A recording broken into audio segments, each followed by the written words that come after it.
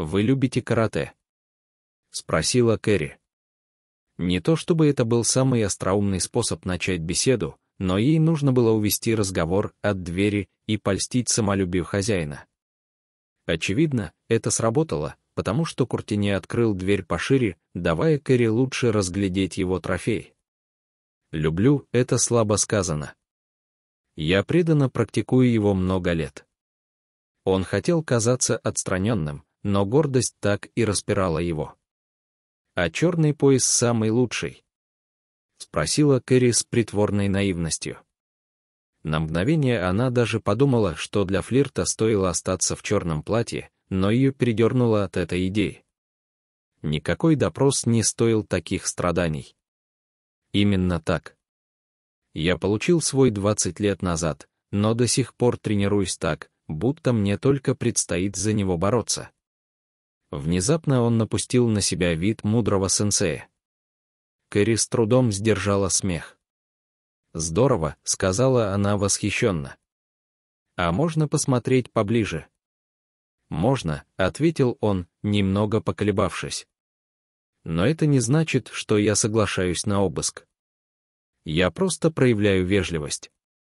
«Разумеется», — сказала Кэрри, соглашаясь с тем, что он был вежлив, но мысленно отбрасывая первую часть. Она переступила через порог и прошла к шкафчику, стараясь осмотреть как можно больше по дороге.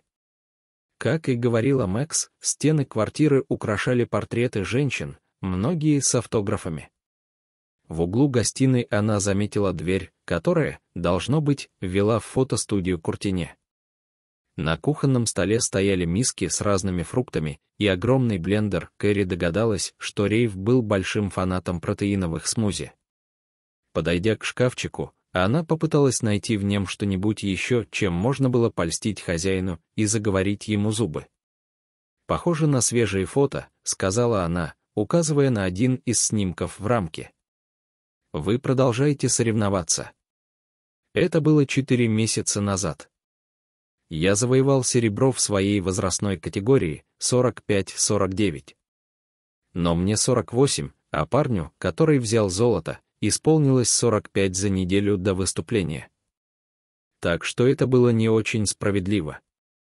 Совсем несправедливо, поддакнула Кэрри, сохраняя серьезное выражение лица. Не верится, что вам 48. Упорный труд и здоровый образ жизни, сказал Рейф.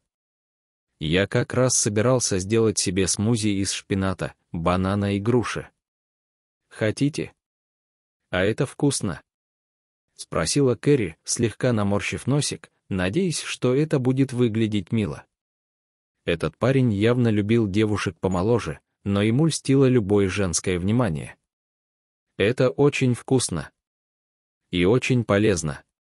Кэрри прошла за ним в кухню и оперлась на стол, притворяясь, будто слушает его болтовню о питательных веществах и восстановлении сил.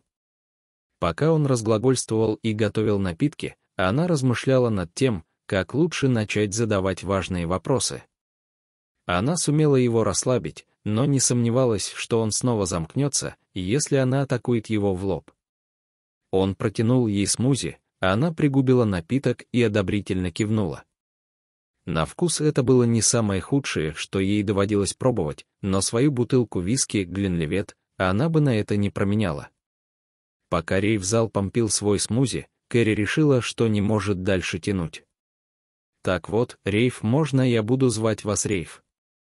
Не дожидаясь разрешения, она продолжила. «В общем, Рейв, и вы тоже можете звать меня Кэрри, помните, я сказала, что хочу задать несколько вопросов. Мне стыдно, что я так грубо пыталась к вам вломиться. Никогда ведь заранее не знаешь, с кем имеешь дело, верно?» Рейв кивнул. «Уродов хватает». «Именно». «Я не знала, урод вы или нет». «Очевидно, нет». Думаю, я могла бы задать вам эти вопросы в более свободной форме, не так строго. В них нет ничего особенного. Поговорим, и вы сможете вернуться к своим делам тихо-мирно. Как вам предложение? Подходит. Но я не стану отвечать, если вопрос покажется мне неудобным. И я не даю разрешения на обыск без ордера. Договорились. Рейф, вы такой смешной с этими разговорами про обыск и ордер. Вам нужно играть в законе и порядке. Из вас получился бы отличный невинный подозреваемый такой себе верзила, у которого на самом деле доброе сердце. Вам когда-нибудь говорили, что это ваш типаж? Бывало иногда. Кстати, об актерстве. Я знаю, что вы фотограф, и у вас наверняка большой опыт работы с актрисами. Похоже, вы хороши в своем деле, у вас столько подписанных фото. Клиентки довольны вашей работой. Не жалуются. Правда. Спросила Кэрри, и вопрос повис в воздухе. Рейв взглянул на нее, не понимая, насколько серьезен их разговор. Он промолчал, и Кэрри поставила свой смузи на стол между ними. Дело в том, Рейф, что мне известно по крайней мере об одной жалобе. От женщины по имени Кендра Бирлингем. Знаете такую? Рейф тоже поставил свою чашку и выждал несколько секунд, прежде чем ответить. Если вы здесь, то очевидно, что я ее знаю. В чем заключается ее жалоба?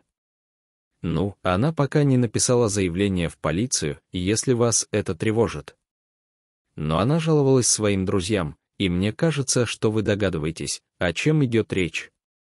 Если она не писала заявление, то почему вы здесь? Я здесь потому, Рейф, что она пропала.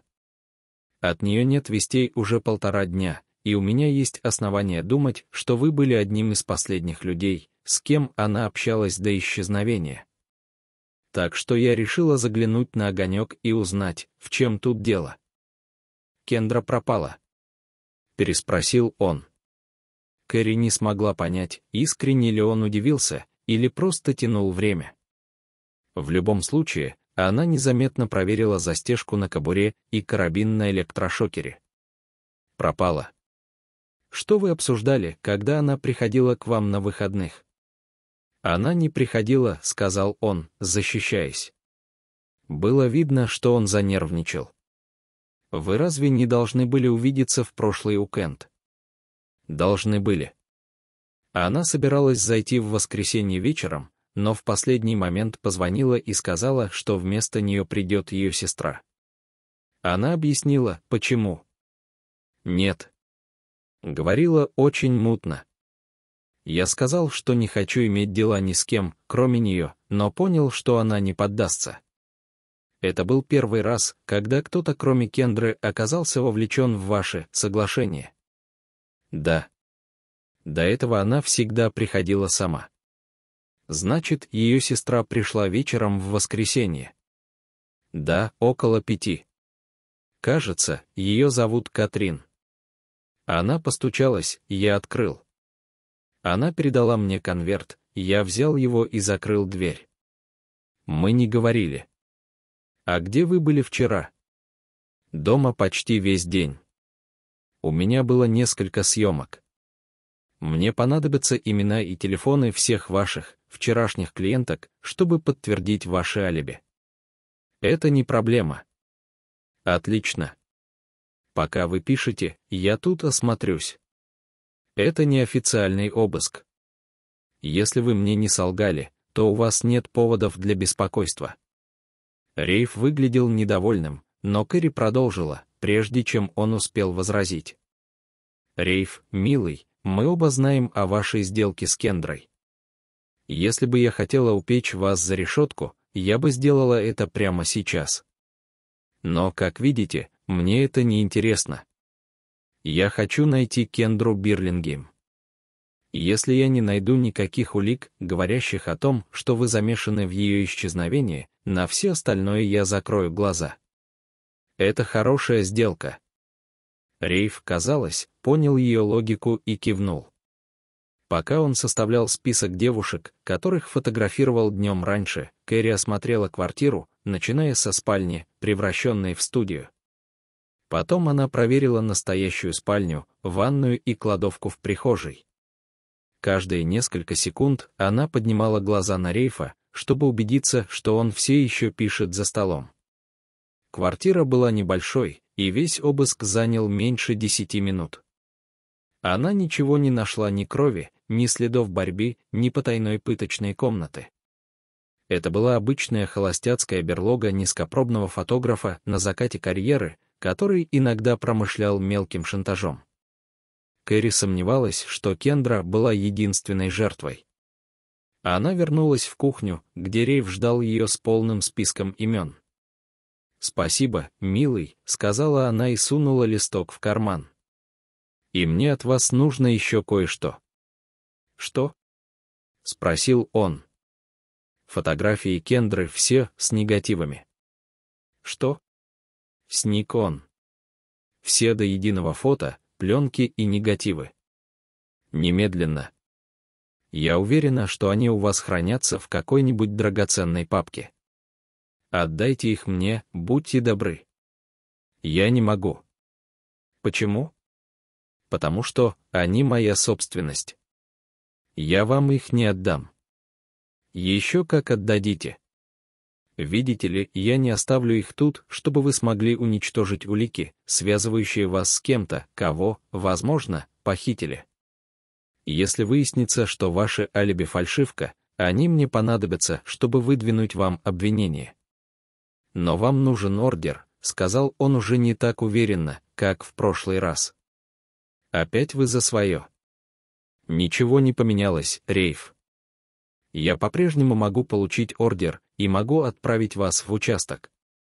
Вы останетесь ночевать у себя дома, только если сейчас же отдадите мне папку Кендры целиком». Рейф, казалось, взвешивал варианты. В какой-то момент Кэрри заметила в нем резкую перемену. Ей это не понравилось. Его напряженное тело вдруг расслабилось. Я все гадал, почему вы просите меня отдать вам что-то, вместо того, чтобы вызвать сюда кучу копов, выбить дверь и с ордером обыскать все самим. И кажется, я знаю, почему. И почему же? Потому что вы не хотите огласки для Кендры и пытаетесь ее защитить. Вы знаете, что она платила мне годами, и не хотите, чтобы это всплыло без лишней необходимости. Но если вы ворветесь сюда по всей форме, то придется писать отчеты и тому подобное. Вы мягкотелая Кэрри. Он сделал крошечный шаг в ее сторону, и у Кэрри побежали мурашки. Рейф, вы сделали неверные выводы. Я пришла к вам одна, потому что на ордер нужно время, а у нас каждая секунда на счету мы хотим спасти жизнь попавшему человеку. К тому же, если ваш шантаж раскроется, все девушки, которых вы снимали, узнают о том, как вы поступили с Кендрой. Интересно, что станет с вашим бизнесом, когда вас прославят как порнографа-шантажиста. Он пойдет в гору, ответил он и сделал еще один шаг. Кэрри поняла, что разговоры больше не действуют. Рейв, несмотря на все ее усилия, почувствовал себя в ловушке. И, как ему показалось, он ощутил ее слабость. Это было опасное сочетание, если учесть, что она и правда была не в лучшей физической форме. Между ними оставалось меньше метра, и Кэрри видела возбуждение в глазах Рейфа. Он уже не думал о последствиях своих поступков. Он чувствовал угрозу и думал, что может ее устранить. Он был готов напасть в любую секунду.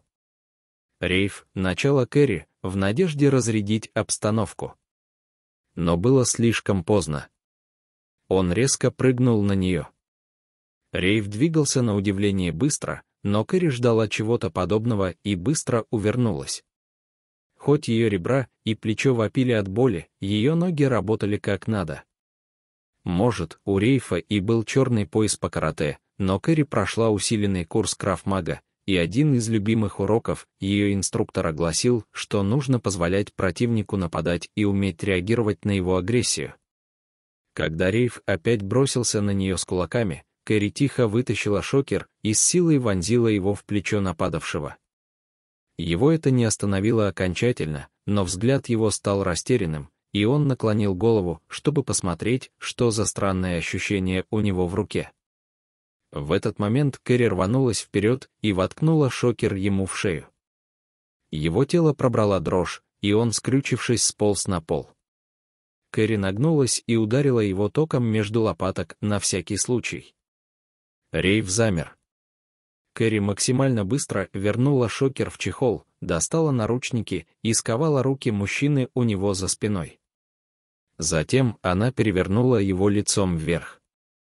Он не сопротивлялся. Когда Рейв пришел в себя, Кэрри сидела рядом с ним на стуле и держала шокер наготове. «Как самочувствие, Рейв?» — спросила она непринужденно. «Кажется, твой крутой пояс тебе не помог». Рейв тряхнул головой, будто пытаясь сбросить невидимую паутину. «Что?» — пробормотал он. «Эй, парень, твой мозг уже включился. Дай-ка я обрисую тебе ситуацию. Но учти, повторять я не стану. Ты только что напал на полицейского. Это была плохая идея. Настолько плохая, что тебе придется забыть про свои соревнования в категории 45-48.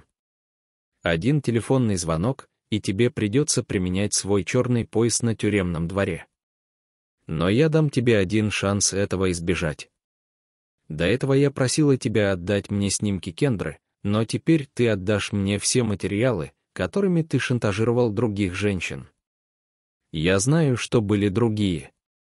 Ты это сделаешь, и я забуду о том, что только что произошло. Рейв что-то невнятно прохрипел и попытался помотать головой. Кэрри решила добавить ему мотивации. «Иначе», — сказала она, — «у тебя не будет ни одной фотосессии в ближайшие 5-8 лет. И не вздумай пропустить хоть одну женщину. Только попробуй, и я вернусь, чтобы арестовать тебя и конфисковать все снимки, которые ты когда-либо сделал. Решайся, это уникальное предложение. И оно истекает на счет три. Раз, два,